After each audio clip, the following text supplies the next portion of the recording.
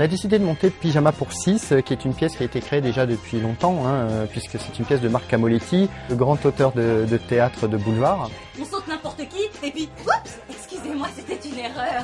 Pas que l'intérieur de l'estomac devient orange. Oh, mais avec ce que je supporte bien d'être violé Voilà Voilà quoi On a eu envie de monter cette pièce parce qu'il y a une grande morosité ambiante et que les gens, ils ont envie de rigoler. Nous aussi. Donc on a eu envie de rigoler ensemble.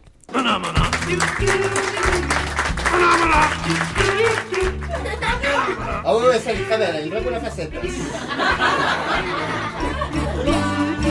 Soi-disant amant. Oui, ça, on te l'a dit. Ah non, non, non, non, non, ça on m'a rien dit du tout, non. Eh bah dis donc, tu manques pas de culot, toi. Faire venir ta maîtresse chez toi. Ah non, non, non, non, tu y es pas du tout, hein. C'est pas moi qui l'a fait venir ici, hein. C'est toi. Tu feras comme si c'était ta maîtresse. Quoi? Ah bah oui, Ah bah, bah, bah non voilà.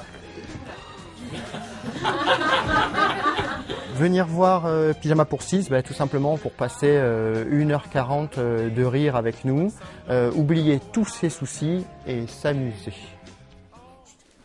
Non, non, non, non, c'est rien, c'est- mon mari et mon amant. Oui, oui, oui, c'est- très familial, oui. J'ai jamais vu un merdier pareil.